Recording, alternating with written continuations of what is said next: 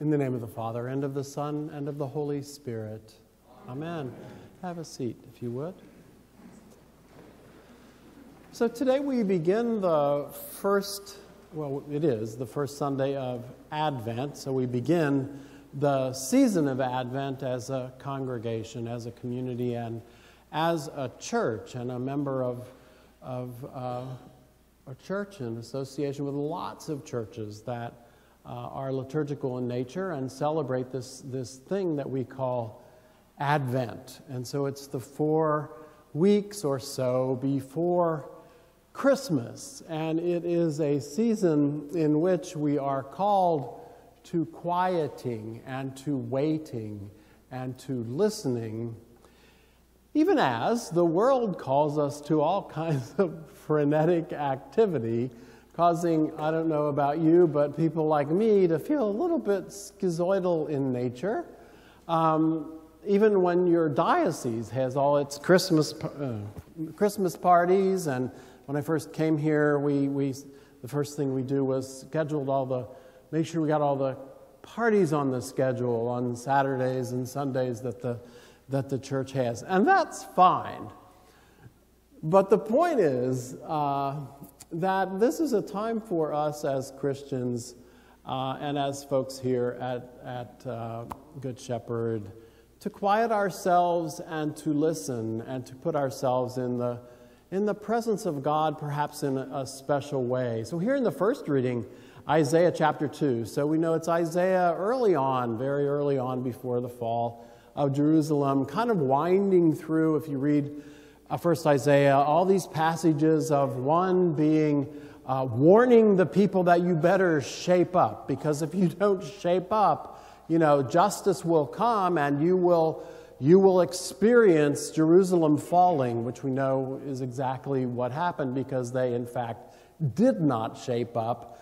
But those, those warnings are intermingled with these oracles, like we heard this morning, where uh, Isaiah is saying, But know this, that even if you don't shape up, I'm paraphrasing big time, if you don't shape up, you know, that I will never leave you. I will, I will always love you. I will always be there for you. And you are called to live in the promise of the salvation that will come, right? And so Isaiah is looking for at once the coming of the Messiah as well as the coming of the, of the rebuilding of the temple down the pike, right? And those are the kinds of things that he's, he's trying to capture uh, emotion around as he speaks to us this morning. And in the gospel, uh, kind of the same thing we experience uh, Jesus telling the people that you need to live in a spirit of readiness because nobody knows when that second coming will happen. No one knows when, when the return will be and when judgment will come, and people will be plucked, one while the other one is left behind, or however that's going to happen, you know. That's, of course, in the hands of God. Um, if you're Baptist, you kind of have a clearer vision of that than maybe we Episcopalians do, but um, you know, but that's what the warning is. That some sense, be ready, live in readiness. And then later on, we hear Paul in Romans uh, today saying very much the same thing, even as as he points, you know, to the second coming, to that coming where uh, Jesus will come in his glory, uh, and people will be judged, and the good will uh, be taken and, the, and the, the bad, as it were, the sinners will be left behind. All of the judgment is, is fine, and it's all in the future. But what we have to live in is the now, right? And so the question is begged in all of those readings, from the prophet Isaiah to the prophet's prophet Jesus to Paul's prophetic side, you know, looking toward the future but the point is, so what? Because all we have is the now. The future essentially is in God's hands. And I think it's that now that Advent is about. It's our church, a liturgical church, sort of punctuating the year with a season. It's relatively short, but a season of preparation, a season of a sort of a season where the church calls us to step back and to, to ready ourselves for what is to come, but also to learn how to live in the now, in the today of our lives. It's all we have. Though some of us who are older, like me, you know, you can do this thing about reminiscing about, uh, about the, the, the, the past, about you know, the good old days and those kinds of things. And this is the way it was when I was 12 and whatever. Or romanticize the future for young folks. Wow, it's going to be this way, you know, in 10 years or 20 years or 50 years down the pike. And, and we can have those kinds of temptations to be pulled away from what it is that we really have. And in fact, all that is, all it is that we really have, and that is the now in which we can make decisions and change our lives. That being said, I was reading some stuff around Advent, and I came across a wonderful little reading from a guy named Saint uh, Bernard of Clairvaux. And uh, Bernard was uh, a Benedictine. He lived about 1100 or a little later than 1100. so, um, you know, it's been a while. Uh, he was very uh, instrumental in um, kind of entering the, the Benedictine order and, and uh, getting them to look at themselves because they had, they had fallen into um, practices that, that, where they had lost their focus. And out of his movement came the Cistercians and the monks that, like maybe you might read about, like live at Gethsemani and those kinds of folks, a more strict interpretation of the Benedictine rule. And so um, I want to read from Bernard, uh, real quick little thing. So he says this We have come to understand a threefold coming of the Lord. This is what I liked. The third coming lies between the other two. Two comings, two of the comings are clearly visible, but the third is not. In the first coming, the Lord was seen on earth, dwelling among us. And as he himself testified, they saw him and they hated him. In the final coming, all flesh shall, see the salvation of God and they will look on him whom they pierced. Then Bernard says, The intermediate coming is hidden, in which only his chosen recognize his presence within themselves, and their souls are saved. In his first coming, our Lord came in our flesh and in our weakness. In the intermediate coming, he comes in spirit and in power. And in his final coming, he will be seen in glory and in majesty. This intermediate coming is like a road on which we travel from his first coming to his last. In the first, Christ was our redemption. In the last, he will appear as our life.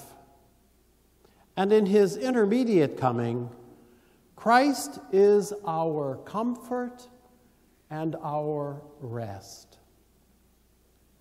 And so during this season of Advent, we celebrate that intermediate coming in which we who are chosen and have been chosen and have gone under the water of, of baptism are called to a very powerful and distinct relationship with Jesus as our brother, as the only one who actually can give us that rest of which Bernard talks, right? And so, Advent is that time that the church gives us each year to sort of punctuate that year with a time of focusing on our present experience of Jesus in our lives, of being present to that presence, which is nothing more or nothing less than allowing ourselves to be loved and to be forgiven and to be readied to know Jesus at a deeper, perhaps a more profound space. And that's, I think, the core of what Advent is about. And all of our readings during this season will be about that, like the candles. We light one at a time, sort of slowly are making our way down that, that trail that, that, Bernard, uh, that Bernard defines in, in the reading, that, that path where the chosen can walk and be present to each and every step or each and every candle, as it were. That being said, I think in some ways uh, uh, uh, the, the spirituality of Advent is rather simple. It's slowing down and quieting ourselves, and especially challenged to do that uh, because the world around us sort of uh, tantalizes us into all kinds of other activities and endeavors. Here at Good Shepherd, we have designed some opportunities for folks to maybe spend some time focusing. Uh, so every Sunday we'll gather, and that will be our sort of our theme, the Advent theme of quieting and focusing. Saturday, this Saturday, uh, we will have a, a, day of reflection focusing on Advent themes from 10 till 2. There's a sign up sheet in the narthex or the lobby. Uh, we need you to sign up just because we're going to provide lunch and we need a number. There will be childcare. If anyone signs up that needs childcare, we obviously aren't going to provide it if there aren't any childs. So uh, sign up and, and let us know. And if you forget to sign up today, you can, you can call in the office.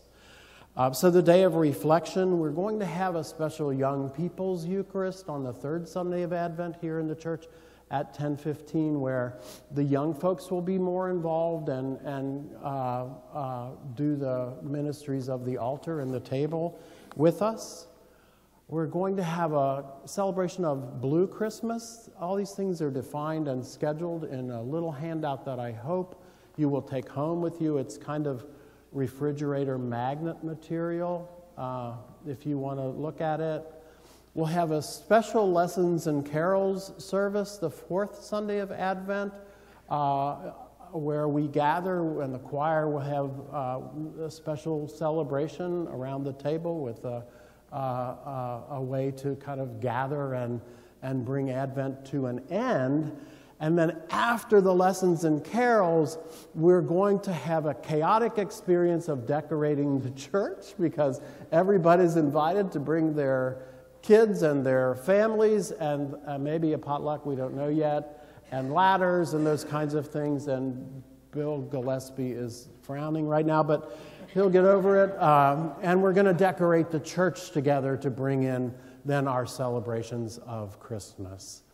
So during the Advent season, hopefully uh, we can pray together some and gather our spirits. And when you're out there in the frenetic world, uh, come to church and invite your friends to, to gather with us and celebrate a season more of quiet and peace and restfulness uh, in the church. I'd also invite you to uh, take, there it is. Thanks, Chris. Uh, these books, we still have a few left um, uh, to get them into circulation because they, the readings start today.